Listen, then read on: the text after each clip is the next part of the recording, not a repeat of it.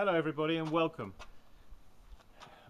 I thought I'd just show you some of the pots that we've had out of the kiln and give you an update on some of my um, some of my disasters and um, we always get a few a few disasters don't we well I wouldn't say I had any really cataclysmic disasters, but I had some things that I was really not happy about uh, in this last firing. Having said that, I was also uh, pleased about some other things that came as a result of the firing.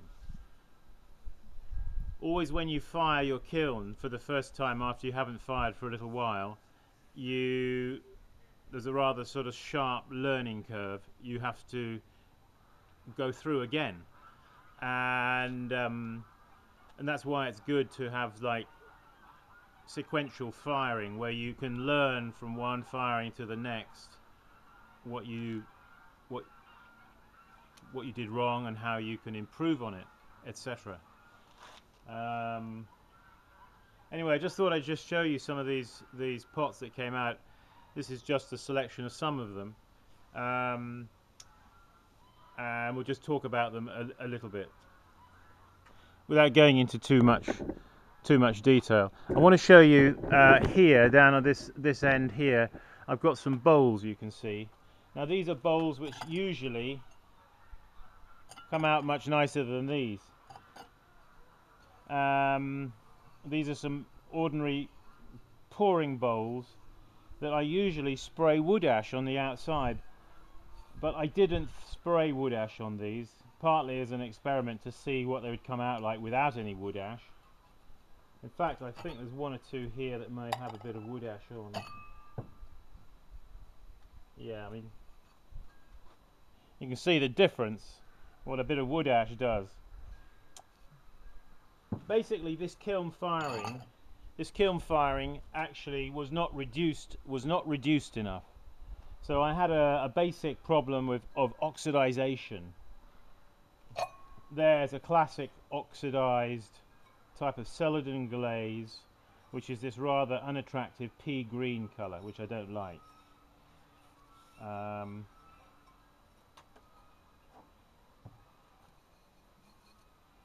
it should be a much bluer, bluey. Some of these uh, little colanders that we made uh, also come out rather dull looking, not very attractive. Um, the glaze inside has taken on the colour of the clay body which is rather grey and it hasn't it doesn't have the liveliness about it that I had hoped again no sprayed wood ash so I don't think I'm going to be doing any unglazed exterior or naked clay without any wood ash again uh, not with this clay body. I was hoping for a better result but my result was slightly impaired by the fact that the reduction was not. I think if it had been more reduced these would have been more toasty looking. So that was a big disappointment to me. However um, as I said, it's a learning curve experience, isn't it? This this was a glaze that I had not had used before. This is called a Leach white. Um, after my grandfather, I imagine. Leach, Leach white. Um, it's basically a clear a clear glaze to which a little bit of zirconium is added, or zircopax, which makes it rather white and I didn't want it to be really as white as this. This is a little bit too a little bit too stark in actual fact. So again, but you know I only made up a very small a very small amount of it just as a test. Uh, so the next batch of that I make up will not have as much of that Zir Zircopax in it. So that was that. Here we have, again you can see here this is a bit more toasty, isn't it? This clay body. Or should I say, a little bit more reduced in the kiln. And this had a Tenmoku glaze on the inside, which has worked quite nicely. with an ilmenite decoration down at the bottom, which is done with a brush. So I did I did a few of those just as a as a test and they and they work quite well. So I was happy I was happy with the result because I'd not tested I'd not tested ilmenite on top of um, and you want to use the, the ilmenite that is very fine very fine ilmenite. Ilmenite can come in different in different um, it can come very coarse rather granular or it can come finer. Okay. Uh, I was also testing out my co my cobalt you see because the cobalt that I was using actually this is a mixture of cobalt with iron oxide and manganese and rather blue rather too blue. I prefer a darker a darker more slate slate blue. I did a wax resist decoration. I was just playing around. I did a few of these just to and then I brushed the with a broad brush I brushed on the banding wheel on top of the wax resist to give us that decoration. Kind of a little bit too busy really I think for me really. Now, now I'm looking at it now I'm thinking no no no no. oh dear oh dear oh dear. okay let's move along. That's alright, I have to show you, there's no point in me just showing you pots that I think are fantastic pots. You need to see some pots that are really crap, pardon my French, but if you know what I mean. Now we have have some pots here.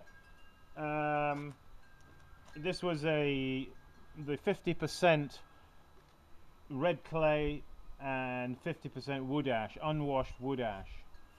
Kind of kind of comes out quite pleasing. This comes out rather yellow because this clay body actually doesn't have very much iron in it. So it tends to make a rather yellow, a, a rather yellow result. You notice the sgraffito type of uh, decoration through, uh, which I did on the clay body when it was like leather hard. And these were raw fired. These were no, no, no. I tell a lie. I beg your pardon. They were not raw fired. These these were bisqued but then I put the, this glaze on the top. You know, the, the thing about the thing about this glaze is it's rather thin. It's a rather thin glaze, and it, it's not very kind of buttery. You know, it doesn't have much sort of nice body to it. So any kind of decoration that you do, underglaze decoration, it tends to show through very, very, very readily. Um, any scratching that you do, whatever you happen to do, this glaze does not have very much body, so whatever you do stands out very well. And it's good for that. It's kind of, uh, it's giving me the feeling though, it's a little bit too thin. There's not any, it's almost like just the naked clay with a colorant over it. You know, it's very, very, I can feel the clay through the through the glaze very readily.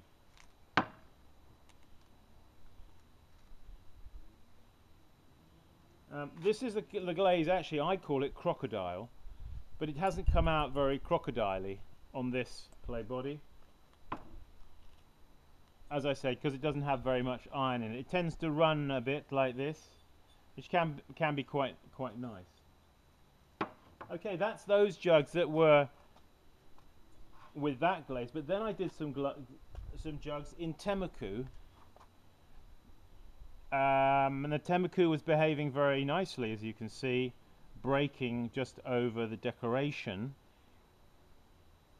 That's what the what I want to achieve with Tenmoku is basically to have a black, a kind of black background, but where you have a decoration or a sharp edge it will break on the high points, you see? You see what's happened there? How the Tenmoku breaks on the high points.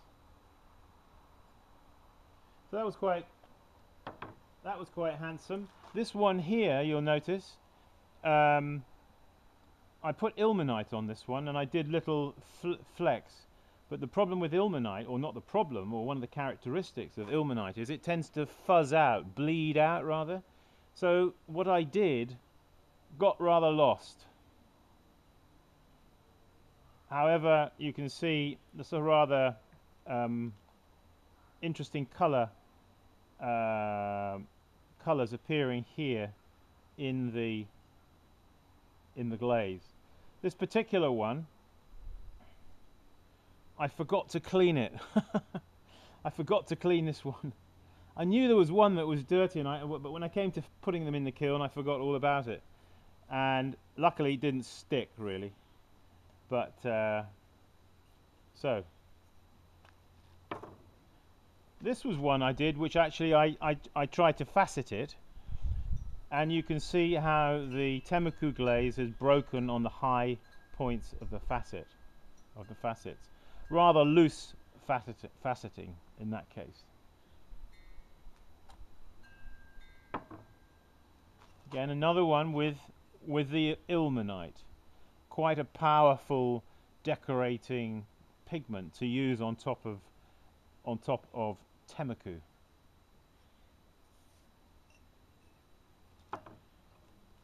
And then we had this one, which was rather nice. This one, um, again, ilmenite dots on top of Tenmoku, but then this was dipped in, just the top here, was dipped in Nuka, Nuka glaze, which has given this rather nice pale, slightly bluey in places. Nuka glaze is, is a, a, a glaze that was originally from Japan, I believe. It was made out of rice, the hull, the, the husks of, of, of rice. They burned them, and then the the the the the the, uh, the wood, the ash that was left, they made into a glaze, combining it with other ingredients. This is not that. This is just wood ash and feldspar and flint. That's Nuka. That's 30, 33% wood ash, 33% um, flint and 33% feldspar. Very simple, just a third each. It works quite well on top of Tenmoku, I, th I think you'll agree. So that was that. Again here, this is a bottle in Tenmoku with, again, just the top dipped in Nuka. Um, again, the the facets on this bottle breaking it breaking very nicely there. I don't know whether you can whether you can see it in this in this in this one, but this particular tenmoku tends to get a rather sugary, a bit what what they call orange orange peel. So I I don't know if you can see that. Let me just see if we can adjust the focus on the camera here. Bring it in a touch. Can you see on the shoulder of the pot there, it's got a like a, a resemble, resembling orange peel?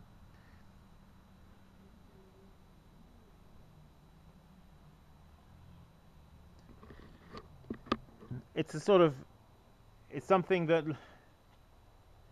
doesn't always, it doesn't always, doesn't always materialize, but it, it can, it can be a very attractive type of feature.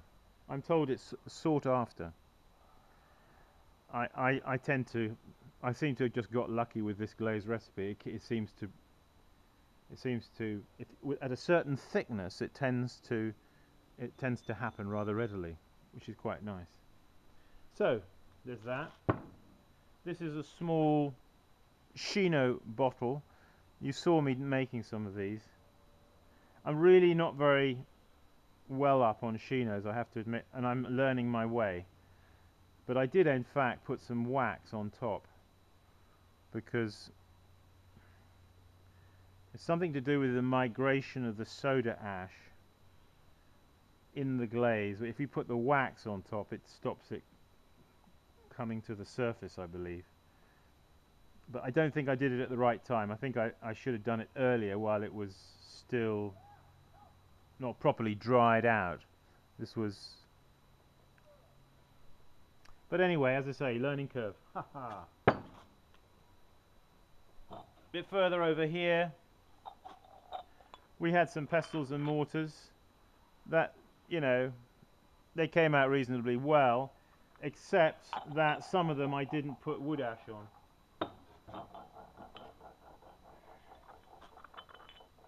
Like this one doesn't have any wood ash on. And you can see it's rather stony looking.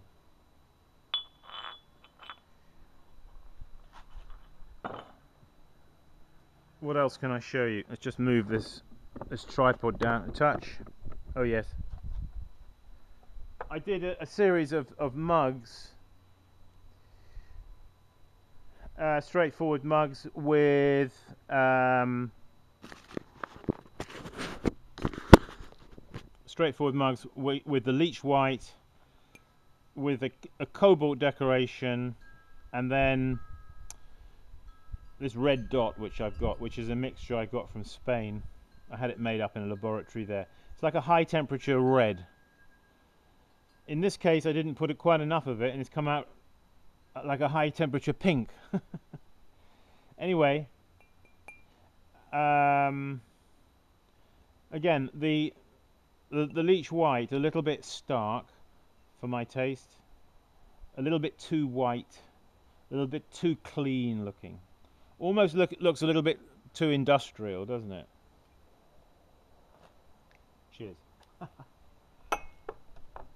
Having said that, they, you know, they all fired very well.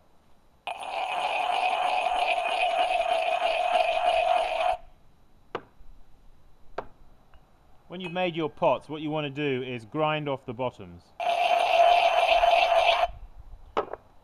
You'll notice the bottom of this pot is not trimmed okay in any way. There's no trimming. As I say, these are these are just simply thrown, sticked off, and then thumbed off, and that's it. No more.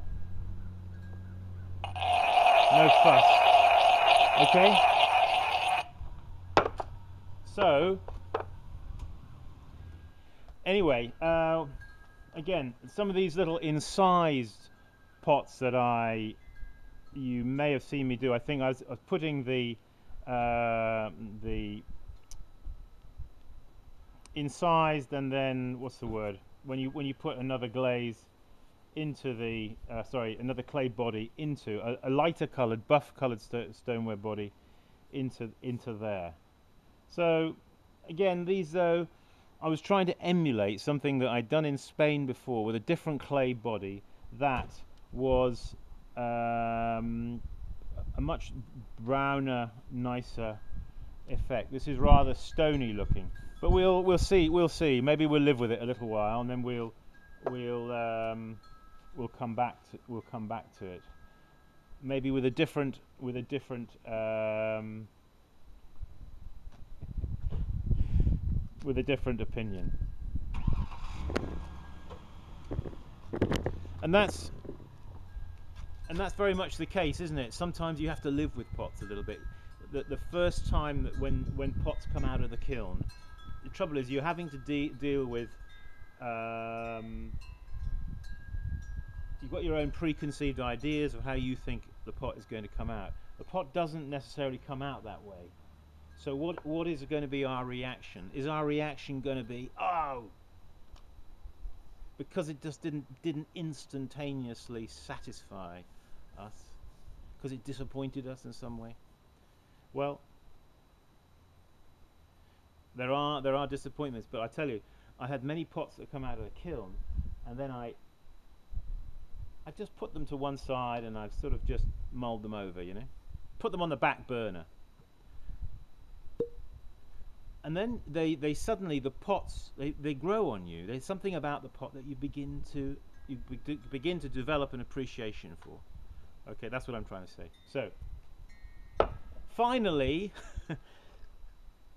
um, although this this this kiln was a rather a mixed a mixed a mixed batch a mixed batch of, of, of different results. Finally, I, I got I got one result though that I was really uh, really pleased about. Just hang on here one second.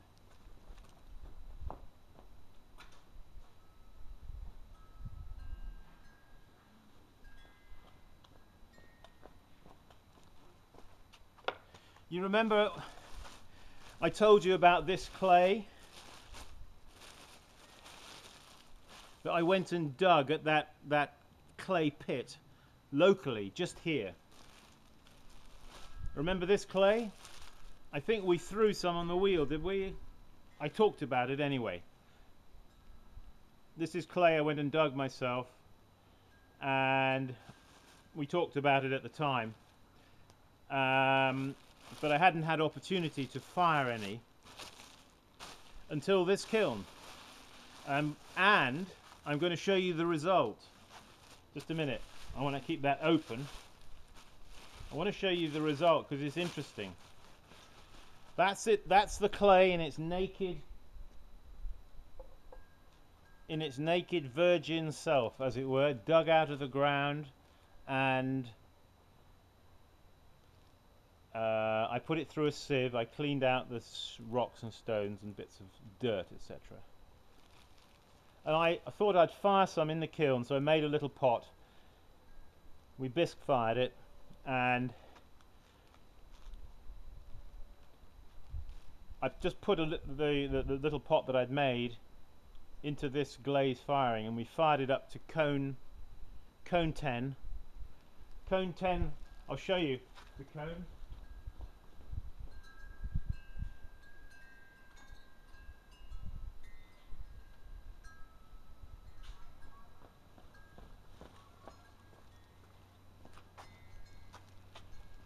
So, cone 10, and there's the pot. What do you make of that?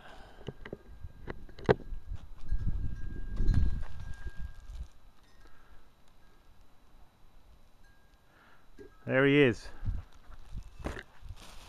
I interesting Interesting though how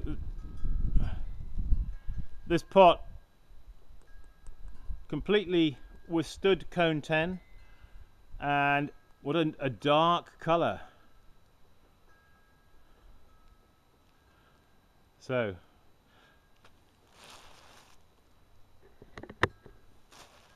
so that was something that made me very happy I don't know what I use it for, maybe a thimble. but anyway, the clay is refractory up to stoneware temperature. I'm getting it all dirty with fingerprints now. But, um, so that's an exciting find and I'm going to be working more with that.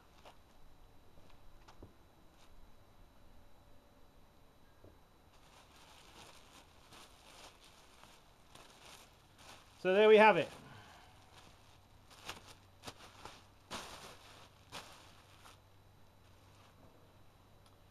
We could say a bit of a mixed bag of results, but also some some very positive results.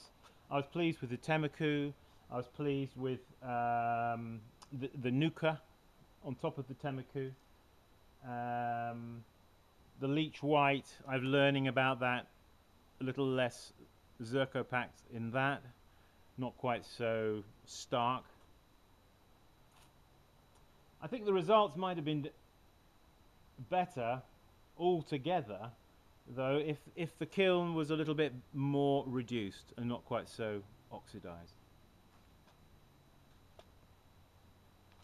Here's a nice little pot that would have would have come out better if this had been a bluey, more bluey green instead of this rather yellow green. Very typical oxidized type of celadon. Okay, well there we are.